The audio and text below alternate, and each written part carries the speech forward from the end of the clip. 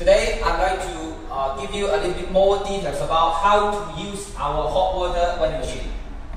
Firstly, let me buy one cup noodle from the vending machine.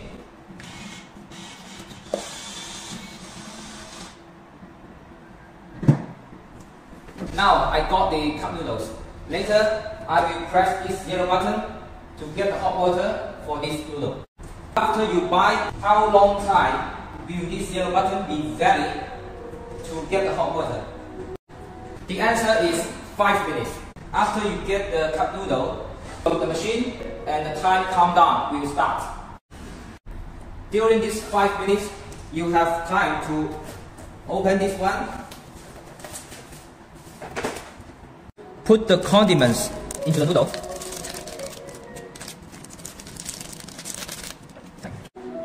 open the door and put the cup into this hot water Close the door.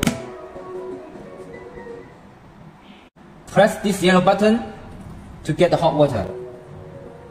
You may concern how long time will the machine dispense water for this cup noodle. It depends. The operators will set the uh, water dispensing time for different products based on actual demand. For example, for this big cup noodles, uh, he may set it 20 seconds. For this small cup milk tea, he may set 10 seconds. After you buy a cup noodle, the maximum water dispensing time will be 20 seconds. Which means I can keep pushing this yellow button to get the water until it is full within 20 seconds.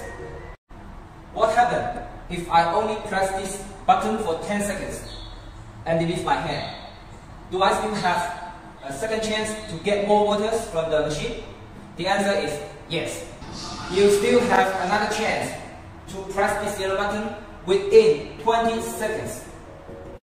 If you press this yellow button 20 seconds later, it will not work. What if the users buy three cup in one purchase?